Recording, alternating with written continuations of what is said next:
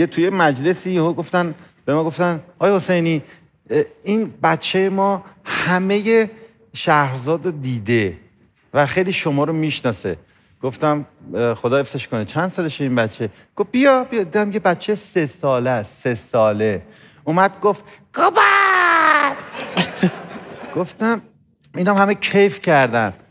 گفتم الان من باید خوشحال بشم که این بچه میگه قباد با مخاطبینتون آشنا شدین دیگه. گفتم آخه گفتم چرا می‌ذارین این بچه این سریال رو ببینه اصلا؟